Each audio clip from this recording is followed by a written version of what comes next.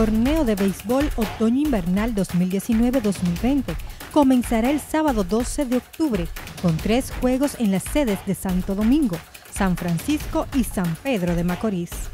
El calendario establece la celebración de 150 enfrentamientos, un total de 50 fechas de tres encuentros cada una. La ronda regular concluirá el 17 de diciembre. La inauguración oficial será efectuada en el Estadio Tetelo Vargas, sede en la que jugarán los vigentes campeones nacionales Estrellas contra los Toros a las 7.30 de la noche. Vamos, vamos, vamos. Acompáñanos. Donde quiera que estés, vamos. Queremos ser parte de ti. Contacto. Alberto Rodríguez nació un 7 de febrero en Santo Domingo. Estudió el bachillerato en La Salle. Luego estudió periodismo en el Instituto Dominicano de Periodismo y Administración de Empresa en la Universidad Nacional Pedro Enrique Sureña. Ha sido elegido cinco veces cronista del año y por la Asociación de Cronistas Deportivos. Ha transmitido béisbol dominicano y de grandes ligas por más de 15 años. Su programa de radio, Alberto Rodríguez en los Deportes, tiene 17 años y hace televisión todos los días desde el 1999. Además, produce un cuarto deportivo por el Canal 2 a la 1.30 de la tarde. Mis saludos y bienvenido. ¿Cómo tú estás, Fabio? Gracias a Dios, todo bien, hermano. Vamos a poner el cinturón aquí para seguridad. Bueno, debemos amarrarnos. Claro. Y más sobre todo cuando se- vamos a comentar algunas cosas que, Fuerte. no, hombre, no, que, que nos ayudan y nos aportan. ¿Cómo va la vida? Vamos bien, Fabio. Luchando, como siempre. Bueno, nosotros vamos ahora hacia dónde?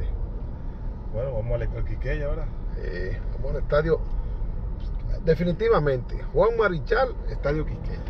Así es. La verdad que nosotros en, en nuestro país somos bien característicos. Algunas veces no sabemos desprendernos de las cosas, ni, ni ser firmes con las decisiones. O sea, todo siempre como en un vaivén. Bueno, fíjate que eso es ponerle el nombre de Juan Antonio Marichal Sánchez, el primer dominicano, Salón de la Fama de Cooperstown. Dio trabajo en las cámaras legislativas por un tema de que en una, en una oportunidad don Juan fue ministro de Deportes y era de un partido y entonces no respondía al otro. Y es como tú dices, eh, Juan Marichal está por encima de la, de, la, de la estructura partidaria aquí en República Dominicana. Porque es un reconocimiento a su trayectoria, Claro. que, que no se puede borrar. Bueno, si te digo, Fabio, que si tú acompañas a Marichal a San Francisco, donde él lanzó con los gigantes, Marichal no puede caminar solo. Eh, Lo idolatran, le- lo, lo ponen su figura en, en la justa dimensión que debe estar. Sin embargo, aquí también pasa, pero nosotros siempre tenemos esa situación del tema cuando se involucra algo, un puesto público. sí. La parte política predomina bastante. Correcto. y nos envuelve y nos hace perder la objetividad, que yo creo que nos ha hecho mucho daño como sociedad. Por eso hay temas que aquí no salen a camino y la gente se pregunta, pero ¿y por qué? Es que la parte política pesa mucho. Sí, la palabra que tú usaste, yo creo que es la más correcta, predomina. Y yo no sé por qué, porque no se puede ser sectario y cada quien tiene una forma de pensar, ideología diferente, intereses diferentes. Y no hay por eso, tú puedes ser de- de- de- del blanco, yo puedo ser del rojo, o tú puedes ser del morado yo del blanco. No hay por qué llevar esa situación al plano personal. Yo no lo veo, no lo veo correcto. Lamentablemente, yo soy de lo que digo que nosotros somos demócratas hasta que nos toca a nosotros aplicar la democracia. No sabemos eh, ejercerla. Mira, algo simple. Nosotros vamos hacia- el estadio. Estamos al inicio ya de la temporada de béisbol invernal 2019-2020. ¿Y cuántos equipos participan? Sí, participan seis equipos. Entonces todos deben tener fanáticos. Claro. Porque sería muy aburrido que nosotros todos seamos de un solo equipo. Entonces vamos a ver medio juego nada más. Sí, así es, así es. Y yo te voy a decir algo, Fabio. eh, el béisbol de invierno es el bálsamo de la sociedad dominicana. Eh, en, en ninguna, en ninguna casa, oficina, esquina, eh, montaña, callejón, eh, no importa la zona, en un momento de la temporada, de enero a- de, de octubre a enero, se deja de hablar por lo menos un día de pelota de invierno. Sí. Porque la, la pelota de invierno despierta una pasión en el pueblo. Bueno, es como se dice, eh, aquí no discutan ni de pelota ni de política, porque eso trae uno- unas pasiones que, que rompen inclusive con amistades y con discusiones hasta de gente que son familia. Eh, y eso trae una pasión porque la pelota es algo que es marca país aquí en, en- en República Dominicana. Tú sabes, yo tengo una expresión ya eh, muy, es muy usada conmigo, de que nosotros somos muchos pelótica. Sí, Porque es de pelota y política. Así es. Y todos somos genios, todos somos gurús. Todos sabemos de política y de pelota, o creemos que sabemos. Somos managers y somos eh, Tú presidentes. sabes que yo soy muy cuidadoso con el tema de, de querer ser eh, o imponer un criterio cuando se habla de pelota, porque una cosa es que Dios o la vida nos, haya- nos haya dado la oportunidad de transmitir ideas o análisis y comentarios en materia deportiva en medios eh, electrónicos masivos, televisión, radio y ahora redes sociales.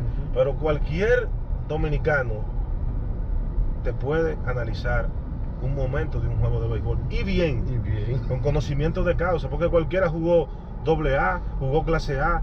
Aquí había una liga, en un momento había un torneo doble A, que cuando jugaba la UAS, y, la UAS y la policía se llenaba el estadio Quiqueya. Oye, y el mismo softball, aquí tuvo una temporada cuando las grandes compañías de su Claro. entonces los patrocinaban. Esos torneos de softball ayudaron mucho a una fanaticada y al conocimiento, ya que las reglas eran muy similares. Y Lo único que variaba ahí era el tema, digo, varía el la dimensión de la bola y también el tipo de lanzamiento, tú la velocidad. Tú hablas del famoso Chata, del béisbol, la- la- Sí. el torneo Chata que part- participaron las empresas grandes en un momento y era, era todo un, un toque de queda en los estadios donde se jugaba. Es real eso que tú dices. Sí, sí. Tradición que se fue perdiendo precisamente por el apoyo que se fue también desapareciendo de parte de esas empresas. Que no pasa en el béisbol de invierno, donde en los últimos 10 años, Fabio, los grupos económicos grandes de República Dominicana que en un momento no estaban en la pelota rentada, se involucraron. Por ejemplo, cuando Julito Jacín vende el escogido, ¿a quién se lo vende? Se lo vende a tres familias poderosas, los Vicini, los Bonetti y los Nari. Y los Nari. Y ahí empieza una dinastía que el escogido había perdido inclusive eh, algo de la fuerza que tenían en la marca escogido. Porque en béisbol y en el deporte, el mercadeo hay que aplicarlo. Pero el mejor mercadeo en béisbol es ganar. Que ganar. Porque cuando los equipos ganan, todo el mundo va al play.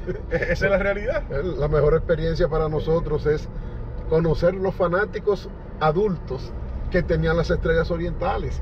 Gente que uno no se imaginaba y uno las veía en el play. Uno pensaba que eran eh, simpatizantes de los equipos del distrito. Decía Don Tano Martín, un cronista, Sí. que en paz descanse, Sí, conocí a Don Tano. que los fanáticos de las estrellas son como los apóstoles. Pocos pero escogidos. Decía él porque eran pocos. En esa época yo muchacho, yo recuerdo eh, de las estrellas a Don Tano, a, a Don Atilio de Fría.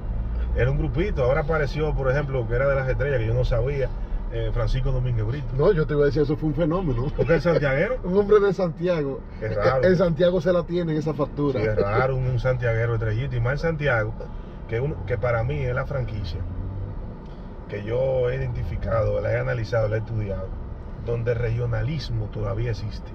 Sí.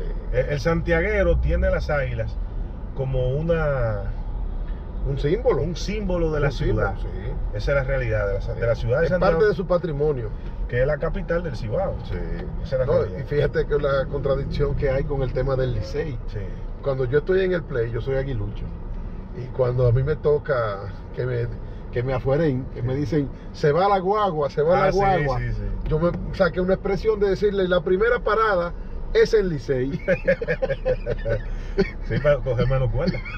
Sí, como, como quien dice, vamos, vamos para el mismo lugar, así que caminen. esa rivalidad eh, de Licey Águila, que, que hay mucha gente joven que nos está viendo ahora en televisión y no sabe que en una época esa rivalidad era Licey escogido. Licey escogido. Y entonces, aunque en los 70 Licey y Águilas fueron los que se compartieron los campeonatos.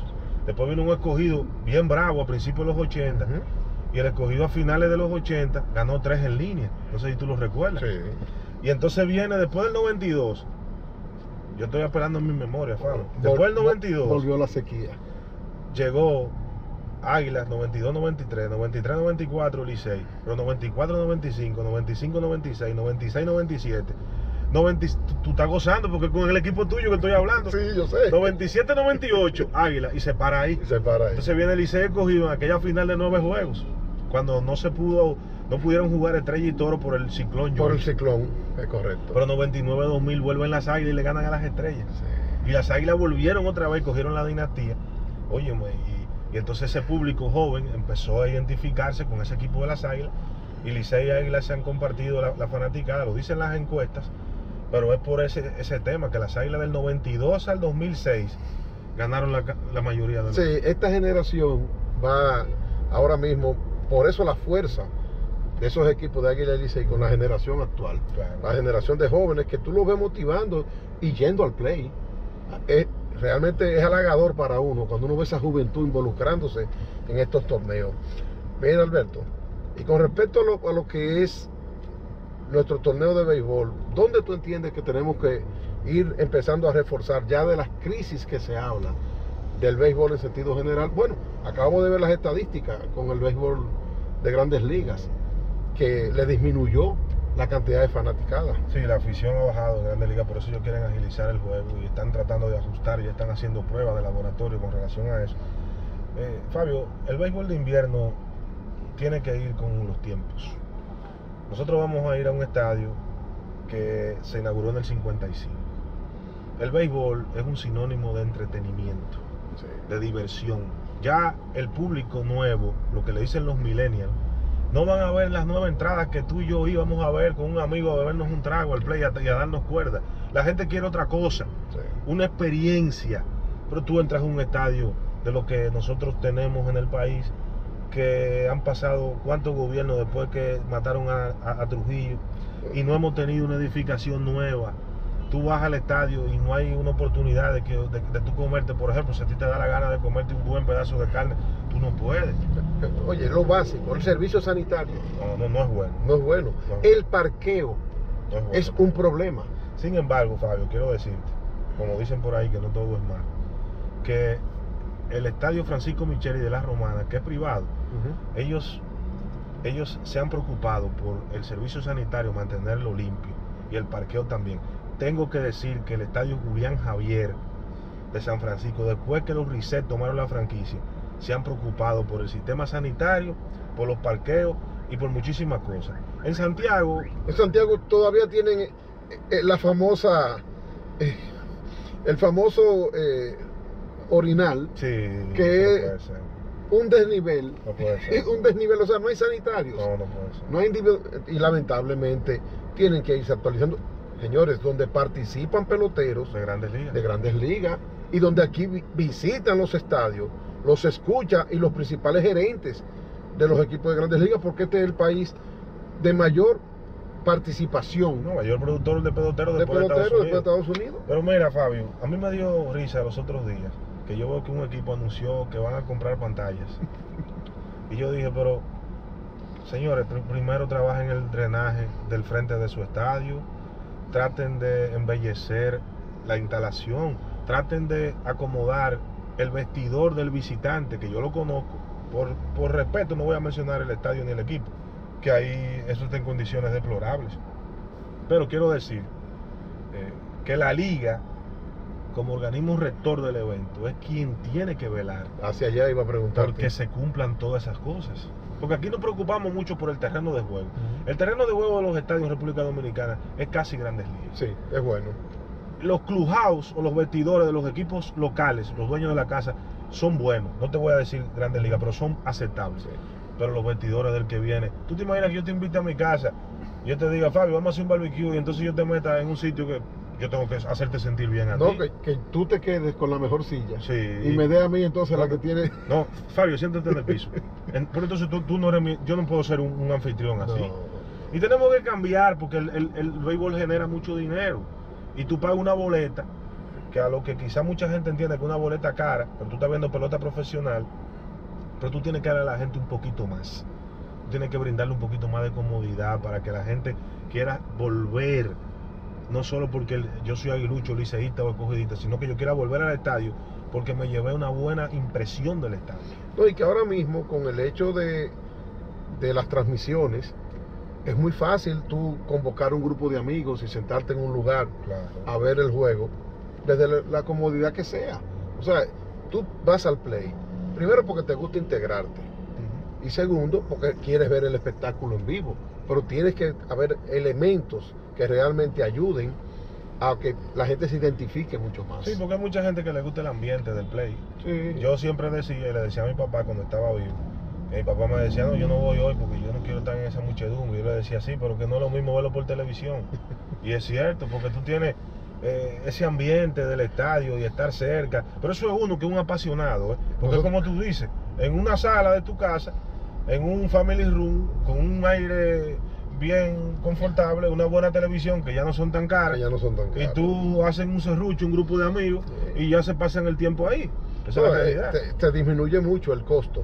Pero nosotros tenemos amigos que solamente los vemos en la época de béisbol. Sí, eso es así. Y nos encontramos, si nos encontramos en alguna ocasión, nos extrañamos. O sea, como, qué extraño. O sea, gente que, señores, nada más nos vemos en el Hay dos tipos de amigos que tú solamente lo ves en el play y los días de votar. Así. Porque él- tú, tú te fijas, ¿verdad? en la fila de, la- de las Sí. elecciones. Fulano, yo pensaba que tú estabas afuera, no, yo estoy aquí, pero nada más lo ves ese día, ¿eh? igual que en el play. Eh, Tú nada más lo ves en el play. Eso es pa- correcto. pa- pasa ese periodo y más nunca. Más nunca lo ves. Eso es correcto. Eso Mira, y la, en la nueva gestión de la Liga Dominicana de Béisbol, ¿hacia dónde ha ido encaminando sus, su accionar? Yo creo que el licenciado Vitelio Mejía ha hecho una gestión decente. Él ha tratado de abrir la liga, porque con el doctor Matos, a pesar de lo que muchos creen, yo creo que él hizo una gestión buena. Y si da el tiempo te puedo explicar por qué yo digo eso. No, no puede. puede. La pregunta que tú me haces con el licenciado Mejía, él ha estado abierto a relacionar la liga con instituciones como el ayuntamiento, instituciones como el cuerpo de bomberos, instituciones eh, sin fines de lucro que buscan ver el béisbol para llevar personas. Antes era más cerrada. Yo creo que él tiene una agenda apretada que está en el ojo de mucha gente que entiende que él puede hacer una mejor gestión. Yo creo que él ha sido un poquito pasivo. También hay muchos jugadores que estaban suspendidos por X o por R. Esas suspensiones se le han levantado porque el licenciado Vitelio Mejía es un poquito más dócil, diría yo. El doctor Mato era un tipo más fuerte. eh, Sí, características muy diferentes. Eh, tienen perfiles diferentes, Sí. aunque vienen del mismo partido político. Sí, pero generaciones diferentes. Claro, Además, claro. en líneas de mando también en su formación. Sí. Tú sabes que la característica de- del doctor Matos Garrido, ahí Sí, está su historia. del. Eh, viene del trujillismo participando Sí, claro. y, y su conducta misma de vida muy diferente, muy Lo que diferente. te quería decir con el tema de la gestión del doctor Mato. Primero, yo estaba en desacuerdo que fuera tanto tiempo. Él duró 26 años al frente de la liga. Eso es una locura para mí.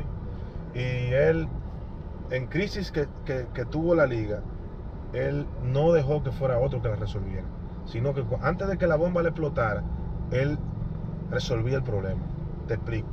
La primera crisis aquella de las águilas, cuando él puso al chilote, Sí, que era una crisis parecida a la actual, a la actual. entre accionistas, aquella crisis de las estrellas orientales que tuvieron que administrar de manera secuestraria el equipo y tuvieron que poner a, Tete Antún. Ajá. Pero después quien busca a Miguelito Feria Mayen es el propio. es el doctor Mato.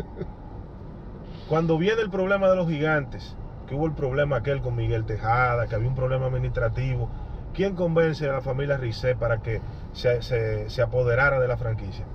El doctor Matos. Entonces, cuando había crisis, él era un hombre de manejo. Ahora, a nivel de imagen de la liga, era muy cerrada, porque esa es su forma, por lo que tú decías, que él viene formado por eh, dirigentes políticos y funcionarios del Estado que no eran muy amigos de los medios, de dar muchas declaraciones.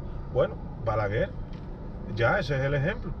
Ese- y ese, es su, su- su- ese era su norte. Sí, ese, ese fue su, la realidad. Su, pauta. Mira, y con relación a que el año pasado vimos que al final hubo un conato, hubo una situación entre los peloteros, ahora que tú mencionas el acuerdo con la liga, ¿eso para este año tú entiendes que ya quedó solucionado? ¿O tú sientes que en el ambiente pueden volver a, resurgir. Mira, Fabio, hubo un movimiento en la Federación de Peloteros Profesionales que dirigió por muchos años Mario Melvin Soto. Y entró ahora un exjugador recientemente retirado, Eric Almonte. Y él me da la impresión que él tiene una agenda apretada para hacer cambios drásticos en defensa del pelotero. Él tiene en su agenda la agencia libre. Es un tema delicado que los equipos yo no sé si lo van a aceptar, pero él lo tiene. Él tiene en agenda también prohibir que a un pelotero se le rebaje el salario, como se da. Si a ti te votan, por ejemplo, del Licey y las estrellas te cogen y tú en el Licey tenés un contrato de medio millón, las estrellas te pueden decir, ya tú no eres el mismo, yo te voy a dar la mitad. Y tú para mantenerte jugando, tú dices, yo lo voy a coger porque eso es lo que yo hago. Él, él parece que va también a analizar Pero eso. es peligroso. Eso es peligroso. ¿Por qué? Porque las franquicias aquí no todas generan la misma cantidad de dinero, de recursos. Y lamentablemente eso se ha sentido en los propios torneos, donde en un momento aquí hay torneos que se han ganado solo por el dinero. Sí. El escogido, para mí, es uno de los ejemplos que fue a papeletazo limpio. Ellos entraron. En un momento que se sintió eso. Ellos entraron con mucho brillo y hicieron una inversión económica grande, principalmente en la marca, que se reflejó en el terreno identificando al pelotero con el equipo. Para tú identificar un pelotero con una con una, una organización hay que hacer una serie, hay que cumplir una serie de pasos. Y ellos lo hicieron. Pero sí te digo que te lo mencioné hace un momentito. Y cuando contrataron jugadores en, en, pleno final de temporada. Trajeron jugadores de todos lados. Trajeron jugadores de varios lugares y fue a, a papeletazo hay, limpio. Hay una combinación, Fabio. Papeleta, como tú dices. Y buena gerencia. Y la relación de Moisés con todo, con todo el mundo. Ah, Porque no es lo mismo que llame Alberto Rodríguez a que llame Moisés Aló. Porque jugó grandes ligas y es hijo de Felipe Aló. Pero tú sabes una cosa, el torneo es equilibrado, por lo que yo te dije hace un momentico en el plano económico. ¿Quiénes son los dueños de los toros? El Central Romana. El Central Romana no le puede temblar el pulso para pagarle bien a un pelotero. Y no le tiembla y lo hace. ¿Quiénes son los dueños de los gigantes? Los RISEC. Es más, te voy a decir algo que se dice poco en público, lo voy a decir en tu programa. Así que si me meto en un lío, tú me defiendes. Los equipos tradicionales exitosos como Águila y Licey, hoy en día tienen menos poder económico que escogido toros, gigantes y estrellas. Estamos de acuerdo. Y se, hoy en día. y se está sintiendo. hoy en día. Y por eso también la misma situación interna que hay. En el caso del Licey, como es un patronato, como ahí no hay un unos... club atlético incorporado. un diseño, pero tiene dueños. Pero tiene dueños, exactamente. tiene, dueños. Ahí algunas veces uno no sabe cómo se definen algunos temas y, se siente, eh, aunque la tradición de la fanaticada les ayuda a ellos mantenerse como, como franquicia. Sí, porque son los equipos que más publicidad venden y que más dinero eh, captan en base a boletería. Aunque hay que, bueno decir, Fabio, que el dinero de la boletería es para cubrir operaciones pequeñas. Sí. En pelota, pero el dinero grande de la pelota entra por la publicidad. Es la promoción. La promoción. Al regreso. Y es un tipo que el, público va a verlo porque el, tipo de juego de él es el tipo de juego que el fanático quiere ver en, en los estadios dominicanos. Vamos, vamos, vamos. Acompáñanos. Donde quiera que estés, vamos. Queremos ser parte de ti. Contacto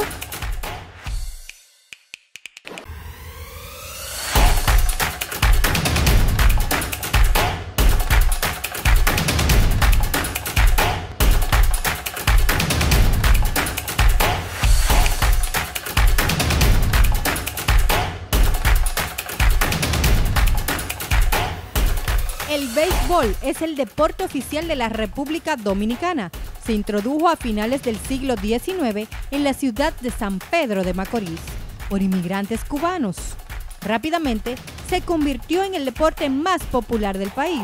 Bueno, batea profundo por el right field, allá va el right field de la bola atrás, atrás, atrás, atrás. La puso amarillita.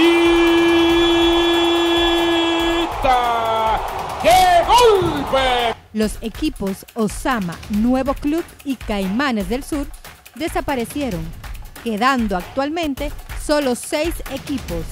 Tigres del Licey, Leones del Escogido, Águilas Cibaeñas, Gigantes del Cibao, Estrellas Orientales y Toros del Este.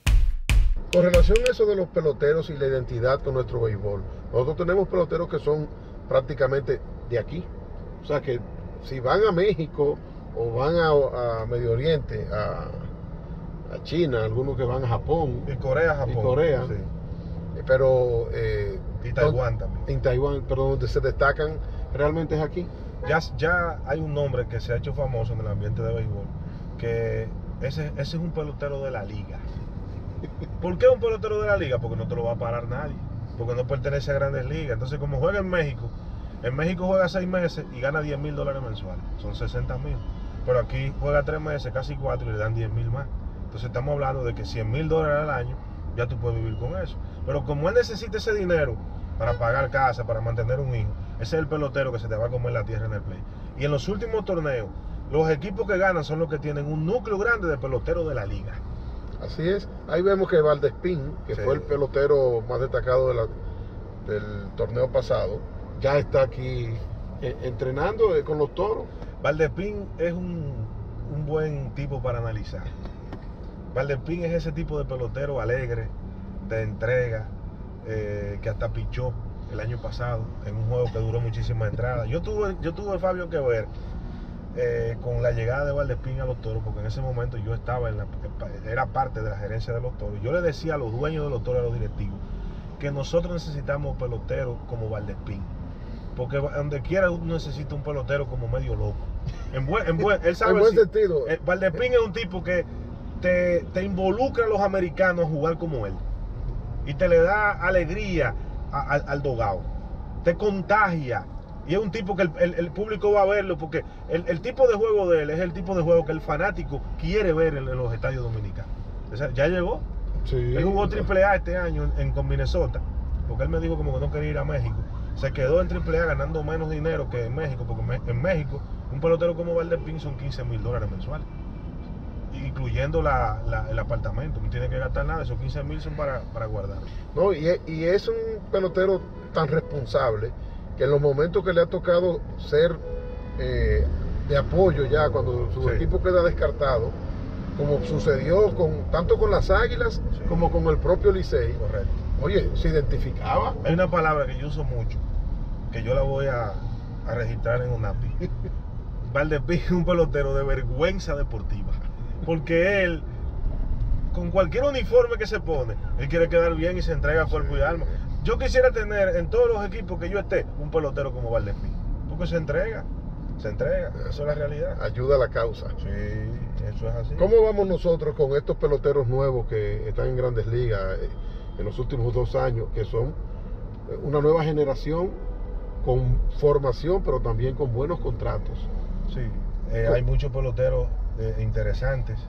Eh, Ahí tenemos el caso de Juan Soto. de Juan Soto, que es muy difícil que lo veamos aquí jugar. Él pertenece al Licey. Él es hijo de un amigo mío. Eh, recientemente él declinó. Pero de que tiene un hermano que es mejor que él. Sí, que va a ser mejor. Pero mientras tanto, él, el que está es él. Es él. Él declinó 180 millones por 10 años, no sé si tú lo sabes. Sí, eso me dijeron. Es Cobb Boras, el, el agente, el famoso insaciable. Bueno, Yo quisiera ser el cliente de Bora para que me consiga también publicidad de esa manera con las agencias, ¿verdad? que nos ayude. que nos ayuda a nosotros dos.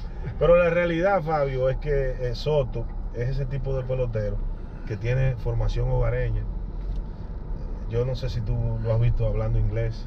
El tipo maneja bien el inglés, maneja bien su idioma, es un buen hijo, es un buen compañero. Y eh, la semana que transcurrió, conectó el cañonazo para que su equipo se metiera en el playoff con el juego en la línea. Un muchacho de 21 años con 50 mil personas en un play en la capital Sí. de los Estados Unidos. No, es lo que, es el clásico que uno dice, no se aprieta. No se aprieta, ¿no? Y también hay otra, hay otra frase. que- Además, sí, con el perdón Alberto, que tiene bajo sus hombros ahora mismo la responsabilidad de sustituir a Brian Harper. Porque a ese equipo, independientemente del, del año que tuvo Brian Harper, le hizo falta ese bate. Él está sacando, él está cargando pesado una responsabilidad, no solo ofensivamente, sino una responsabilidad de que Harper era el tipo que llenaba el play. Sí.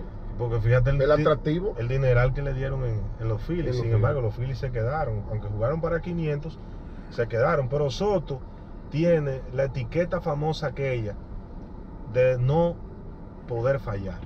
Esa etiqueta famosa que dicen, esa bebida no falla, se va a vender. Él tiene esa etiqueta. Y ayer en esta semana lo demostró, sin lugar a dudas. Mira, ahí está también el caso de Carlos Gómez, que estoy oyendo como que está pensando en el retiro. Sí, eh, Carlos ganó buen dinero, tuvo muchas lesiones. Él dice que si se retira va a jugar con las águilas. Él se crió detrás del estadio Cibao. Pero el temperamento de él. Explosivo, explosivo. Carlos es un tipo explosivo y que dice lo que piensa también. Carlos no tiene pelo en la lengua.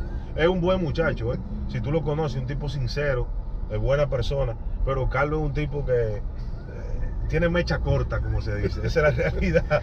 tiene mecha corta. Ca- causa situaciones en Sí. cualquier lugar que se encuentra. Así es. Casualmente con Milwaukee fue el último equipo que él Sí, estuvo. así es. Él fue firmado originalmente por el equipo de los Mets de Nueva York y el, y el scout, eh, el amigo Eddie Toledo. Pero él pasó por, por varios equipos y aquí no. Aquí él ha jugado con un equipo, con dos equipos. Originalmente Carlos es del escogido Sí. y después fue cambiado al equipo tuyo, a, a las Águilas Ibaeñas. Bueno, y, y ahora que tú hablas de Aquino, ¿verdad? Sí. Dime de Aquino. Jugará. Bueno, yo te voy a decir algo, él dijo que va a jugar en noviembre. Y yo pienso que a él hace falta foguearse en esta pelota todavía.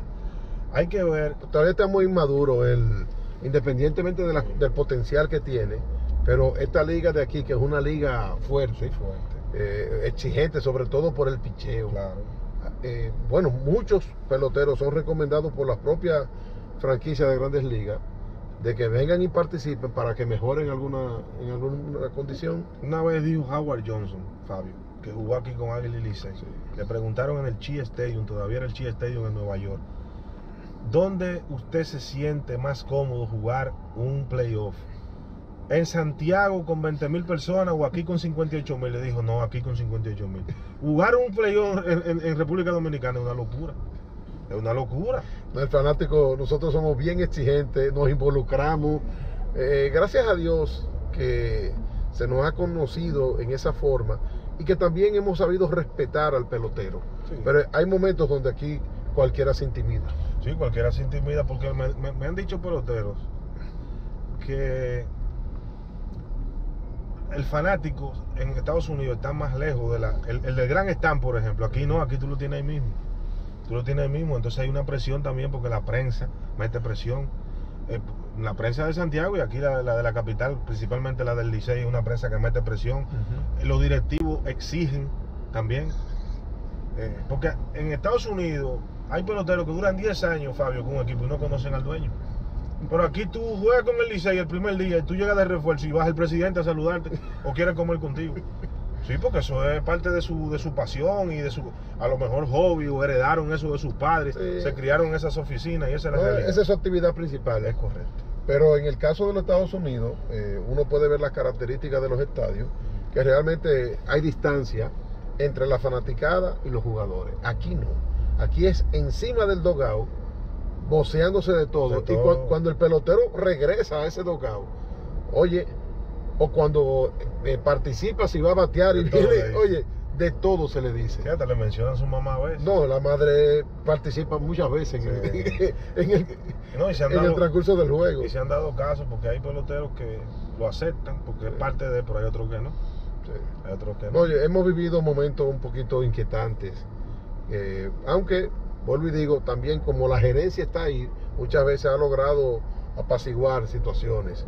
Aunque la liga, yo creo también que tiene que ir poniendo algunas cosas en orden en ese sentido. Sí, la liga siempre ha velado por la seguridad del, pelotero, pero siempre se puede hacer más.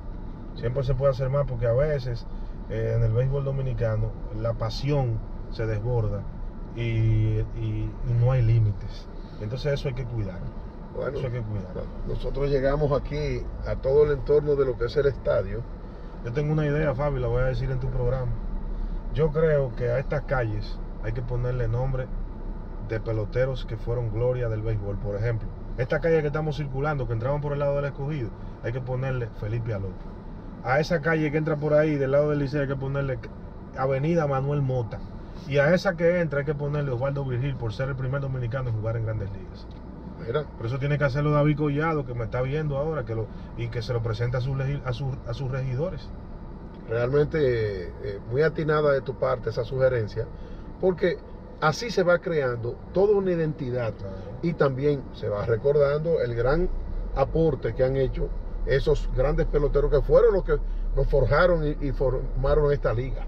Yo fui a Minnesota una vez a un juego de estrellas y la calle de entrada al estadio se llamaba Kirby Pocket y la de la esquina Rock Caru. Entonces, eh, Fabio, eh, nos vemos aquí. ¿Dónde tú estás? En la Rock Caru con Kirby Pocket. ¿Y por qué aquí tú no puedes decir, estoy aquí en la loco Manuel Mota? Porque ellos son nuestros embajadores. Eh, no, mire, y, y acabas de mencionar un nombre que para mí me da mucha nostalgia, lo de Kirby Pocket. Sí. Lo que fue su carrera, un hombre con su entrega, pero el destino muchas veces nos hace jugadas. Y yo creo que ahí fue una mala jugada. Eso es correcto. Estas instalaciones, que realmente uno las ve eh, organizadas, eh, las calles bien señalizadas, un poquito de mantenimiento, eso no es, el problema. Ahora, el tema de los parqueos. Realmente, eh, ya que no hay un eficiente sistema de transporte que garantice que la fanaticada pueda venir de manera independiente, o sea, la gente tiene que venir de manera eh, independiente con sus vehículos, pues yo creo que también hay que llamar la atención en ese aspecto, en la seguridad. Tenemos la tradición de que aquí hay muchachos que ya los conocemos, ya, ellos, es más, yo creo que yo vengo y yo tengo mi parqueo fijo aquí, Sí, porque te conocen pero eso es lo que venimos tradicionalmente. con regularidad. Aquellos que le- ocasionalmente vienen, pasan trabajo. Sí, Y hay que pensar en ellos. Aunque la liga ha hecho acuerdos con, con la Oficina Metropolitana de Transporte, pero no es, no es igual. No es igual. Y es una realidad lo que tú dices. En Estados Unidos la gente hace un plan para ir a ver un juego de béisbol. Aquí, gente como tú, por ejemplo, vienen al play dos y tres veces a la semana. Sí, no, Es, es lo que te digo. Porque como uno regularmente lo que hace es que se abona y, Sí. y luego viene a, a ver cualquier juego, cualquier juego, no importa que el equipo de uno no esté participando, pero el tema de aquel que se motiva, sea porque su juego, su equipo está ganando o porque quiere venir a ver un, un evento, quiere venir a conocer. Muchos dominicanos cuando vienen en diciembre, en la época del invierno, Quieren venir al estadio. quieren venir al estadio porque ya que hay béisbol, que ellos ven béisbol en los Estados Unidos.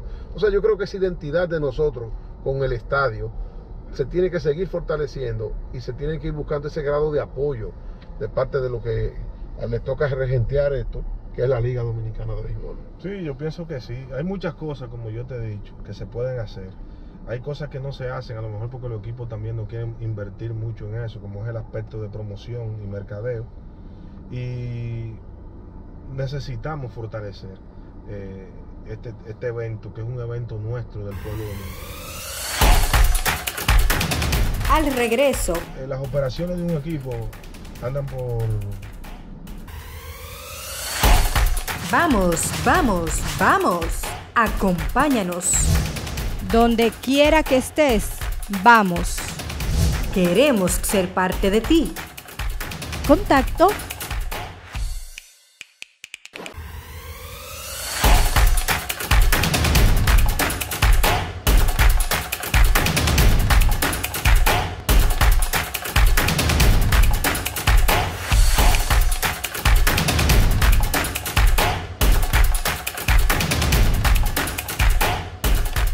Mira, estamos frente al Estadio Quisqueya. Estamos ya aquí donde es el principal estadio de nuestro país. sí, donde han jugado las grandes estrellas que hemos tenido y que también han venido aquí de, de- de los Estados Unidos a jugar en nuestra béisbol.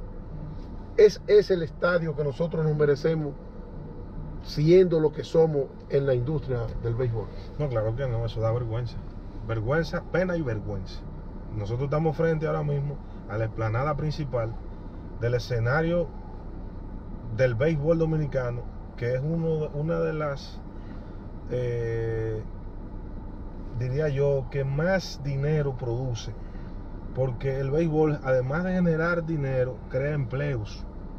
Porque aquí hay 30 equipos de grandes ligas operando. Sin embargo, estamos en medio de un estadio que no parece un estadio. Si yo te digo a ti hoy aquí, yo estoy contigo, eso no parece un estadio. No parece un estadio, eso lo que parece es algo que no tiene que ver con entretenimiento. Eso parece otra cosa. Un número loco o un número aproximado de lo que se involucra aquí dentro de los contratos que hay en grandes ligas, incluyendo las ligas menores, Sí. ¿de qué estaríamos hablando? Tú hablas de los contratos para los jugadores. Para los jugadores. De aquí. Sí, Un equipo, eh, las operaciones de un equipo andan por 120, 130, 140 millones de pesos de operaciones, de, de- de nómina. uno solo de los equipos, Sí. de los que están en el torneo. Sí, pero te estoy hablando de peloteros. Sí, sí, estamos hablando de no- 900 millones de pesos. Sí, claro. Pero Mato Berrido dijo una vez en una entrevista que le hizo un periódico matutino que el torneo de béisbol movía más de mil millones de pesos. Porque ahí hay una muchacha que vende refresco está esperando que el torneo empiece para venir a, a- a vender refresco. Ahí hay un señor que tiene una, una- una compañía de hacer pastelito y equipo que está esperando eso también para venir a vender. Oye, el que vende la boleta, Fabio, afuera. Sí. El- los famosos boletrí. La muchacha que, que está de- detrás de la boletería. El tipo que anuncia los peloteros. Crea mucho empleo. El que narra el juego y el que lo comenta y la voz comercial. ¿Cuántas secretarias y cuántos administradores tiene los equipos y la liga? Directores de prensa, directores de promoción, de protocolo, de relaciones públicas. El chofer que lleva los refuerzos al hotel. No, no, es, un conjunto, es un conjunto de, de empleomanía Claro. que realmente cuando tú la visualizas, tiene que entender que es importante la inversión y es importante el aporte económico. No, hay que cuidar este evento. Entonces esto hay que cuidarlo. Este, este evento hay que cuidarlo como cualquier. Este evento hay que cuidarlo como el turismo dominicano. El turismo dominicano no puede ser tocado ni con el pétalo de una flor.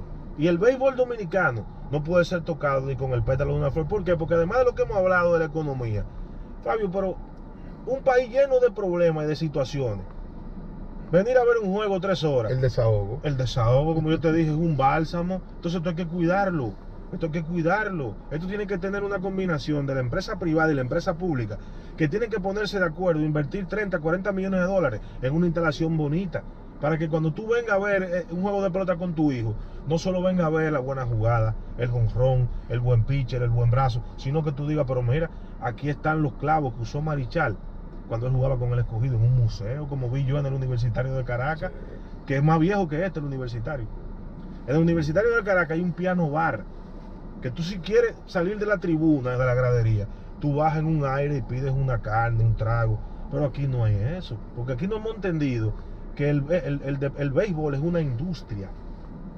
Además de deportiva, Fabio, es una industria de entretenimiento. Cuando yo era niño, yo recuerdo que aquí en un juego yo veía a Fernandito Villalona tocando de un lado y, y- y a Johnny Ventura de otro. Pues eso es lo que el pueblo consumía en esa época. Pero ahora hay que darle a la gente lo que el pueblo quiere. Sí, sí. Sí, parte del entretenimiento, tal y como tú dices. Los que vemos, por ejemplo, en la NBA, Sí. el que tiene la oportunidad de ir a un juego de NBA, no se sabe qué disfruta más. Si el juego o el espectáculo que se le monta en los, en los momentos del cambio y de, de los espacios que se crean. Te montan un show. Te montan un show de acrobacia, de un artista que va y canta. Igualmente en los Estados Unidos, en el que va al béisbol, tiene momentos de satisfacción. Primero, por el gran museo que representa cada equipo, la identidad que te va creando, los símbolos que ellos enseñan. Sí. O sea, fuera, esto es fuera de la calidad de las instalaciones.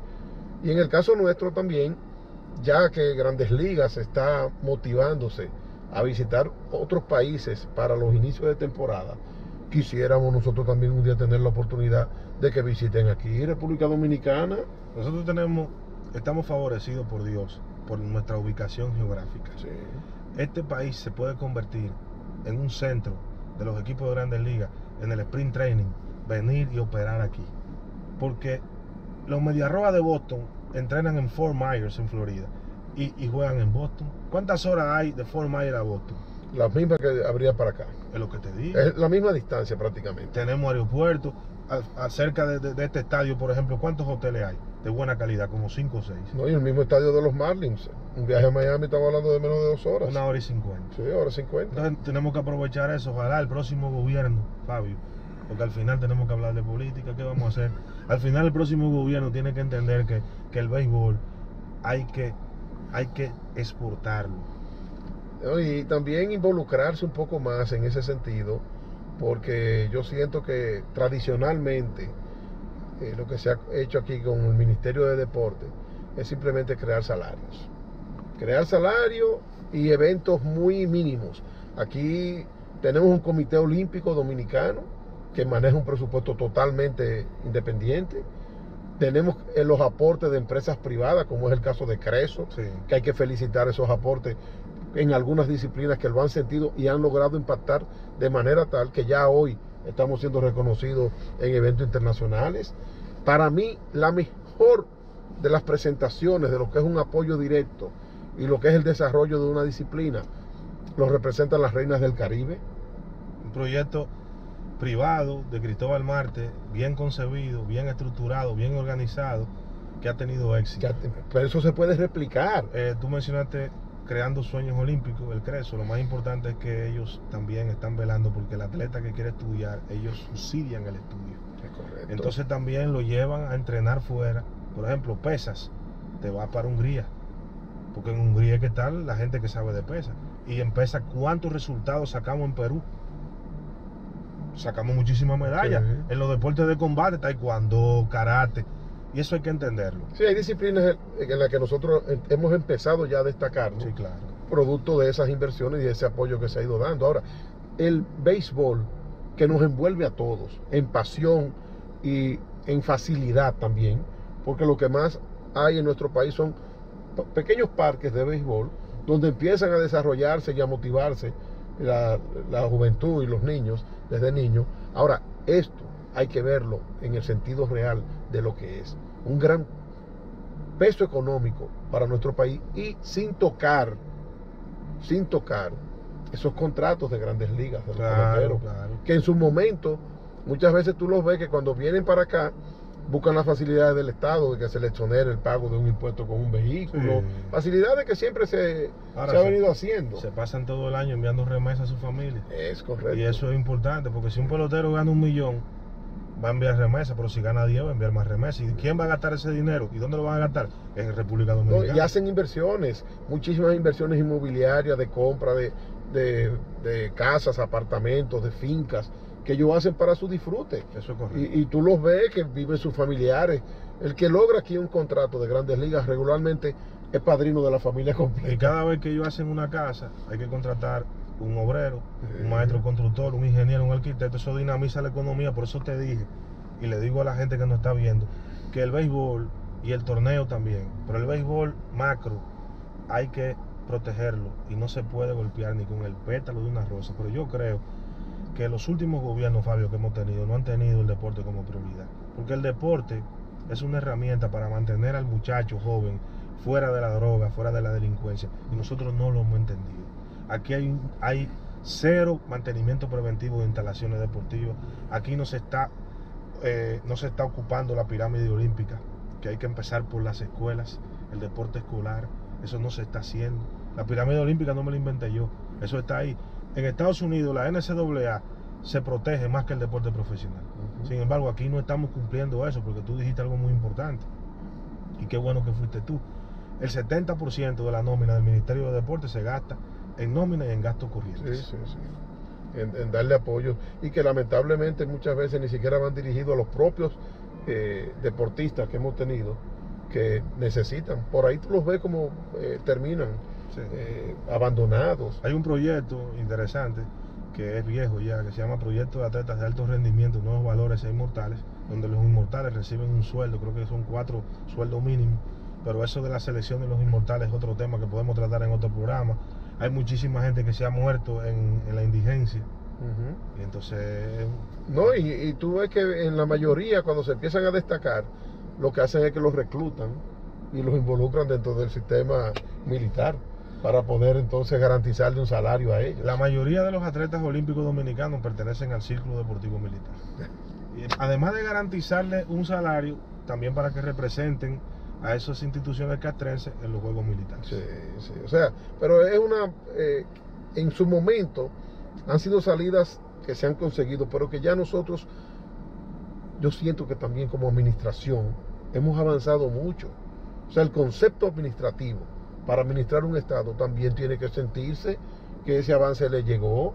Hay visiones ya diferentes, ya se conoce lo que, lo que es por dinero o lo que es por, por simplemente apoyo a, un atleta o a una disciplina. Eh, se sabe en las disciplinas que nosotros vamos a ser competitivos y en las que no, porque también es así. Sí, se identifica. Se identifica. ¿Cuáles son los que vamos a conseguir medallas? Porque es un plan que empieza con los Juegos Centroamericanos, Juegos Panamericanos y Juegos Olímpicos. Entonces, el que, el que es bueno en Juegos Centroamericanos no necesariamente tiene que ser, tiene que ser medallista en Olímpico. Y el que es bueno en Panamericano no necesariamente tiene que ganar una medalla olímpica. entonces hay que enfocarse, invertir más en el atleta que realmente tú sabes que puede llegar a conseguir una medalla olímpica, que en un país pequeño como el nuestro, ganar dos o tres medallas en, un, en un, juego olímpico, por ejemplo como lo de Tokio 2020, es algo grande.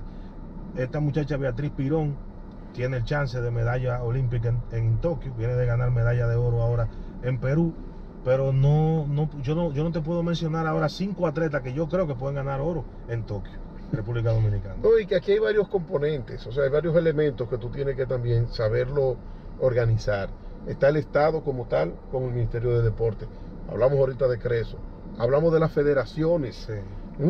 Inclusive federaciones con apoyo de recursos internacionales que se, han se convirtieron en un momento determinado en fuentes de, enriquecimiento ilícito, en un desorden, que es una vergüenza que nos hayan tenido que intervenir. Todas, por ejemplo, la Federación Dominicana de Fútbol tuvo que ser intervenida por la FIFA.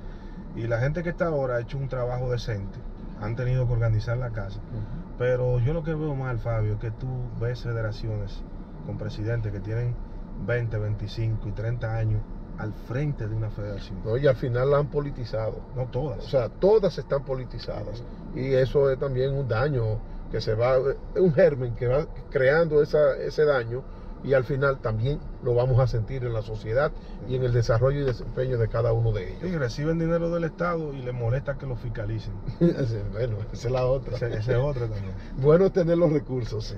Mira, Alberto, vamos, vamos a ver cómo está el estadio. Vamos para allá. Para este próximo torneo, que todos estamos con ansias de que inicie. De que arranque. Sí, sí, que arranque. Vamos para Así allá. que vamos.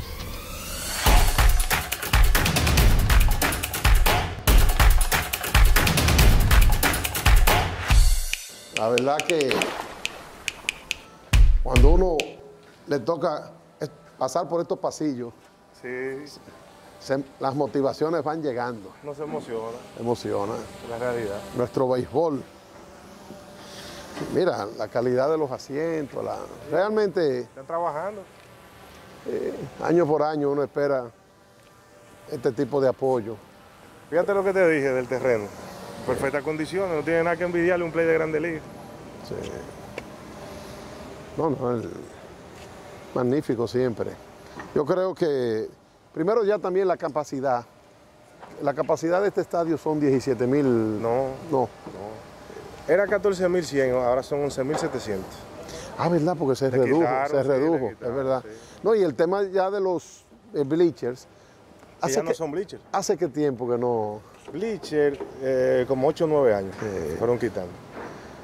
Que ese, era el escenario de, la gente de pueblo, pueblo. De pueblo, sí. Eso es así. Pero realmente también, cuando uno viene al estadio, son las áreas que menos fanaticada tiene. Ahora sí. Pero antes tú tenías un termómetro de saber si el play se llenaba. Y era que en un juego de 16 cogido, ese domingo a las 4, el bleacher del 16 se llenaba a las 3 y media. Ya tú sabías que el play se iba a llenar. Ese era un termómetro que tú, ese, ese bleacher es famoso de ese lado. Eso es así. A nosotros hablar de inversión que realmente entendemos que se requiere, ahí vamos. En estos tiempos donde la fanaticada se ha ido retirando, en sentido general, ¿tú crees que nosotros podamos tener una cantidad para soportar esa inversión? Porque es una inversión grande. Yo creo que no es un gasto, es una inversión porque se le puede sacar a la inversión. Lo que te, comenté hace un momentito, el tema de alquilar el estadio a equipos de grandes ligas y tener un patronato serio de que se pueden hacer conciertos, porque en todos los estadios del mundo se hacen conciertos, pero que ese, que ese concierto el promotor te lo devuelva igual o mejor que como tú se lo entregaste. Romeo vendió tres fechas consecutivas en el, en el Yankee Stadium. Y eso fue, en horas vendió las taquillas. Sí, esa es la realidad. Pero tenemos que tratar de tener un nuevo estadio. Inclusive yo creo que con la misma característica que este, porque el mismo Fenway Park es un estadio viejo, pero lo han dejado viejo porque la gente va a visitar lo viejo que llama la atención, pero con limpio. Eh, con, condiciones. Con condiciones. Eh, lo que yo siempre hablo del mantenimiento preventivo de las obras, eso es clave, tener un ingeniero de planta con una brigada. Hay una gotera en el techo, vamos para allá. Pero estamos en marzo y no estamos jugando, pero tenemos que resolverlo. Y eso no, hay que gastar mucho para eso. Y cuando uno va al sprint trainer, uno se da cuenta de la calidad de esos estadios, que son de poca inversión, que no son de la misma magnitud que los estadios ya del, de grandes ligas. Y puede ser algo similar lo que aquí se haga. Y qué bueno que tú tocaste eso en el sprint training. Eh, las personas que no pertenecen a la población económica activa de esos lugares, principalmente de la Florida, son los empleados del estadio. De, los Yankees, ellos tienen un compromiso social como organización grande del béisbol o deportiva a nivel mundial. Uh entre las primeras cinco organizaciones a nivel mundial mejor valoradas, sin importar el béisbol. Y ellos han construido estadios en los tres brazos, que del teleférico se ve el estadio, que ese ah. estadio no servía en toda la comunidad de Boca Chica han rescatado estadios, lo han remodelado. Ah, pues muy interesante ese proyecto. Ya van cinco o seis estadios que los Yankees, la academia de aquí de República Dominicana, con, hace una inversión y con su presupuesto aprobado por la oficina de Estados Unidos, los Yankees de Nueva York, y ellos rescatan estadios para que esa comunidad de ahí que a veces es olvidada por los gobiernos, pueda practicar deporte decentemente. No, y es una forma de ir incentivando y motivando, porque la mayoría de nuestros peloteros vienen de lugares muy humildes. Eso es correcto. que realmente la transformación de ellos ha sido el lograr ese contrato, y para lograr un contrato, ¿cuál es el promedio de, firmas? Bueno, de, 100 llegan uno y a veces dos. O sea, es difícil, que algunas veces uno tiene que entender hasta la conducta que exhiben los peloteros fuera del terreno porque lamentablemente cuando esos peloteros se retiran, 37, 38 años, 23 años involucrados en esa disciplina, cerrados, encerrados, y hoy por hoy entonces se ven con un poquito de libertad, entonces si no tienen un debido orden y un, seguimiento que los ayude a ellos poderse comportar de nuevo hacia la sociedad, ahí es que vienen y pasan los tremendismos también. Sí, el, tema de la orientación también, de, tú ganar dinero, pero alguien tiene que orientarte en materia eh, financiera, eh, en materia de tú manejarte con la sociedad, porque como tú bien dices, un impacto muy fuerte económico de tú verte en un momento eh, vivir en una casa sin piso y de un momento a otro firmar un bono de 10 millones de dólares, cuando tú todavía no has llegado. Porque esos Julio 2, los famosos bonos Julio 2, tú no has llegado a ningún lado.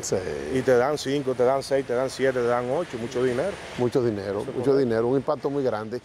Mira, eh, Alberto, ese número, 411, yo creo que tiene un significado en nuestro béisbol muy grande. es el paredón del Estadio Quiqueya. Eso, eh, todo el, hasta un dicho hay en la calle que dicen, eh, fulano, hice esto, pues diste un palo por los 411. Porque para sacarla... Es un referente. No, que no llegan a 10 lo que la han sacado no, por ahí. No, no, Ahí la sacó tu amigo, Henry Rodríguez, por ahí. La sacó también Mondesí, el ex síndico de San Cristóbal. La sacó por ahí. Un fracaso en la política. Sí, no le fue bien en la política. No, es que lamentablemente zapatero a tu zapato. Juan Francisco, que el único activo que la ha sacado por ahí. Que la ha sacado por ahí. Que pertenece al equipo de los Tigres del Licey.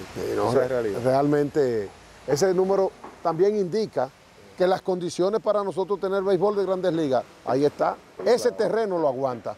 Porque ese número no lo tienen muchos estadios. No, son 411 pies del home hacia la pared. Pero después que tú te llegas a la pared, hay unos pies para arriba también. Sí, que la altura. Por eso que dicen que para darle por ahí hay que sacarla, hay que darle, como dice. Hay que darle. Bueno, pues vamos a darle nosotros. Sí, vamos a darle. De verdad, yo te doy las gracias por acompañarnos eh, en este espacio y hacer este aporte de conocimiento y de motivación, más bien, hacia nuestro béisbol y con la fanaticada eh, también para que se sienta identificada en lo que es algo que año tras año nos involucra y nos trae al disfrute y también a la presión, porque cogemos la presión. No, te agradezco a ti por hacerme parte de, este proyecto, con este espacio que hemos hecho en el día de hoy, y también te exhorto a que sigas haciendo una producción diferente que ha calado en el gusto de la gente. Gracias.